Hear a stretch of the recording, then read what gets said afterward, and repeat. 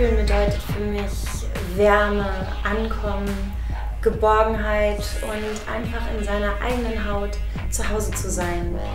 Und ich denke, dass Wohlfühlen ein unglaublich großer Luxus ist, den wir uns leider nicht kaufen können.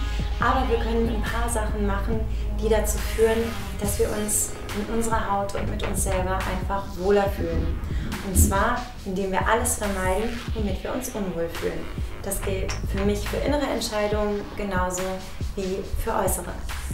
Mein Tipp, wenn ihr euch Wäsche kauft und es ist nun mal das Erste, was eure Haut berührt, dann sorgt da schon für das Wohlgefühl.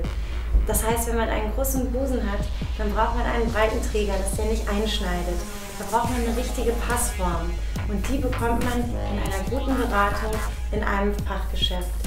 Lohnt sich wirklich dahin zu gehen, dass man auch schaut, dass man sich mit guten Materialien umgibt, die schön verarbeitet sind, dass nicht auf einmal eine Naht irgendwo drückt, wo sie das nicht machen soll. Und, und so schafft man mit der ersten Schicht auf der äußeren Haut schon ein Stück von dem inneren Wohlgefühl.